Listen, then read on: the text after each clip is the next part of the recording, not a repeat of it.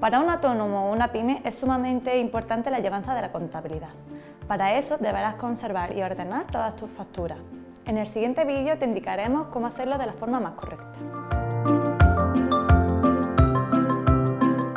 Para llevar la contabilidad al día es importante que haga una buena gestión de tus facturas.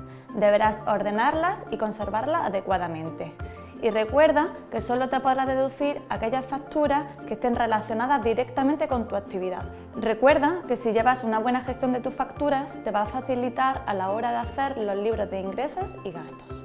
Es obligatorio para realizar una actividad profesional que emitas facturas para poder tributar y recibir facturas para poder deducirte los gastos. Pero tenemos que distinguir dos tipos de facturas, las completas y las simplificadas. Y recuerda que en un principio solo son deducibles las completas. Los requisitos de las facturas completas son los siguientes. Tiene que aparecer el número o en su caso la serie, la fecha, los datos tanto del emisor como del receptor, el concepto por el que se emiten, la cuota de IVA, las retenciones en caso de que procedan o si se produce la inversión del sujeto pasivo o está acogido al régimen especial de criterio de caja.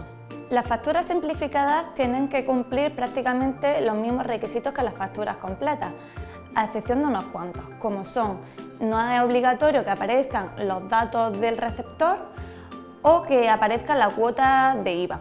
Lo que pasa es que si no aparecen estos conceptos, estas facturas no van a poder ser deducibles como tampoco podrás deducirte las facturas pro forma, porque no son una factura en sí, sino que es como un presupuesto. Podrás emitir facturas simplificadas cuando el importe no alcanza los 400 euros IVA incluido, o cuando emitas facturas rectificativas que sustituyan la anterior y la autorizada por el Departamento de Gestión Tributaria.